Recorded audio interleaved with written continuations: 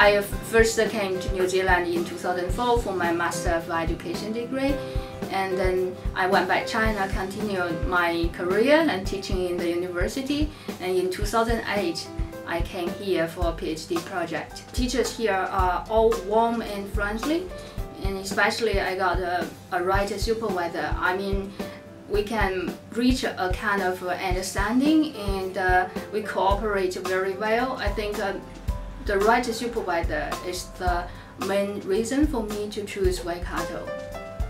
The issue that Jinrui is looking at or investigating is a very uh, important matter for students and staff at a university because she's looking at how tutors in the faculty give feedback on students' written assignments.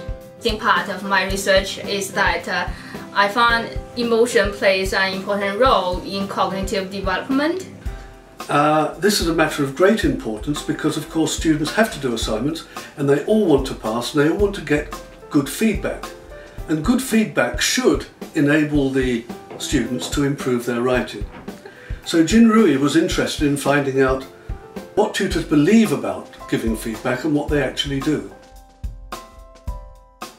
I may continue to, to be a university lecturer because in that case I can use what I have learned in my PhD and then uh, to do further research. Uh, I definitely want to work in New Zealand because uh, I want to pay back what I have learned here. She's got the linguistic competence, she's got the intelligence and she's got the motivation and diligence to go out and find things that will inform us both.